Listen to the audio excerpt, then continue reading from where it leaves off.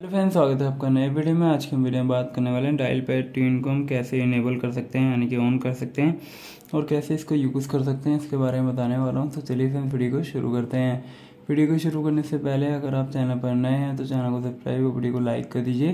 Friend जैसे कि आप देख सकते हैं, मेरे पास ये रियलमी का फ़ोन है, और आपको सबसे पहले क्या करना है सेटिंग पर क्लिक करना है तो क्लिक कर लेंगे। सेटिंग पर क्लिक करते ही आपको इस तरीके का आइकन शो करेगा। आपको यहाँ पर क्या करना होगा? जैसे कि आप देखते हैं, थोड़ा सा ऊपर की साइड स्क्रॉल करेंगे तो साउंड एंड वाइब्रेट वाले ऑप्शन पे क्लिक करना है। क्लिक करते ही आपको इस तरीके का आइकन शो करेगा। आपको यहाँ पर क्या करना होगा? थोड़ा सा ऊपर की साइड स्क्रॉल करना है और मोर साउंड एंड हेल्प इस पर क्लिक करना है। क्लिक करते ही आपको इस तरीके का आइकन शो करेगा। आपको यहाँ पर क्या करना होगा? ये देखिए डायल पैड ट्यून तो राइट साइड से हम इसे इनेबल कर देंगे, यानी कि ऑन कर देंगे। ऑन करते ही मैं आपको बताने वाला हूँ किस तरीके से इसको यूज़ कर सकते हैं। जैसे कि अपने डायल पैड पर जाएँगे और एक नंबर वगैरह कुछ भी डायल करते हैं तो यहाँ पर एक साउंड आती है। इसको बोलते हैं डायल पैड ट्यून तो उम्मीद है फ्रेंड्स आपको वीडियो पसंद आएगी। वीडियो पसंद आएगी तो चैनल को सब्सक्राइब कर वीडियो को लाइक कर दीजिए। मिलते हैं नेक्स्ट वीडियो में, तब तक के लिए नमस्कार।